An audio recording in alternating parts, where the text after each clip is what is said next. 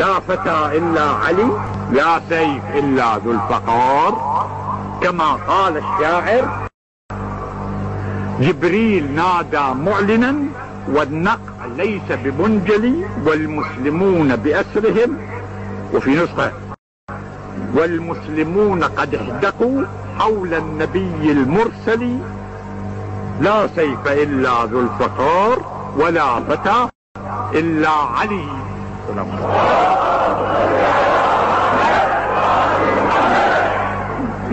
وكذلك يقول النبي صلى الله عليه وآله وهي قايد في أمير المؤمنين؟ أمور؟ هاي واحد منا على يتحق ضربة علي في الخندق ما مضمونه؟ ضربة علي في الخندق تعدل عمل الثقلين يعني طاعات الإنس والجن جميعا.